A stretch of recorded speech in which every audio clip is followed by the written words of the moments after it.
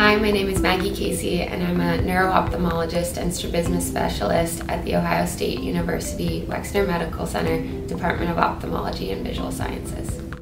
The most rewarding part of my work is providing answers to questions that may have been plaguing patients for a long time.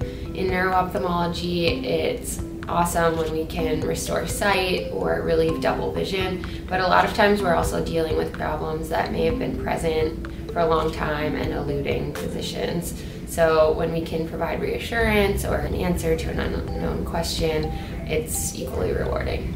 One of my mentors once taught me that a patient will give me the answer if I ask the right questions and listen to their answers.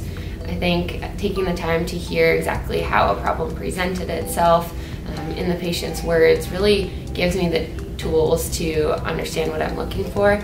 We have incredible technology in ophthalmology, but it's only as good as the clinician who knows where to look. I'm from Pennsylvania outside of Philadelphia, and most of my family continue to reside there. I moved up to Boston for my undergraduate degree, and I'd been a lover of sports my entire life and continued to play lacrosse at Tufts University. I ultimately came back to Philadelphia after college and got firsthand experience in ophthalmology while working as a scribe at the University of Pennsylvania, and that led to my initial interest in the field. I find working at Ohio State is incredibly collaborative. We in ophthalmology work closely with neurosurgery, neurology, radiology, sometimes rheumatology as well, and it allows us to work to find the best outcome for patients.